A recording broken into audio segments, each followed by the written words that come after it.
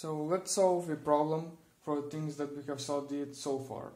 So a, a student eats a dinner rated at 2000 calories. He wishes to do an equivalent amount of work in the gymnasium by lifting a 50 kilogram barbell. How many times must he raise the barbell to expend this much energy? Assume he raises the barbell 2 meters each time he lifts it and he regains no energy when he lowers the barbell. Okay, so we have that the barbell is lifted 2 meters, the mass of the barbell is 50 kilograms, and the energy that we need to expel is equal to 2000 calories. Okay, now we need to expand to expel this much energy by doing work or by lifting uh, the barbell.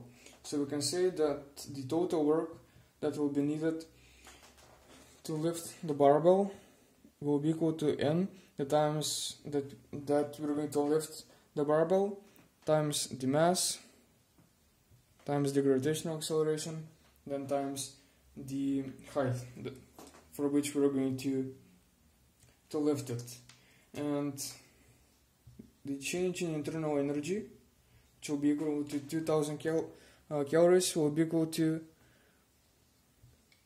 the total amount of work that we need to do since we, we want to expel uh, everything that the student has has eaten.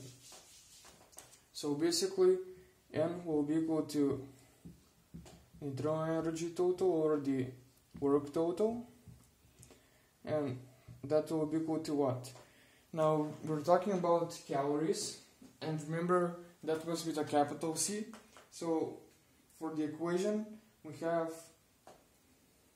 2000 calories times 1 to the power of 3 since uh, 1 calorie with a capital C is equal to 1 kilocalorie times 4.186 since we're converting it into joules.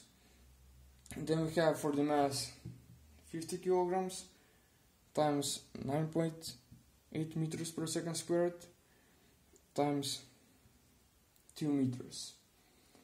Okay, so basically if we calculate this, we will get 8.54 times 10 to the power of 5 times.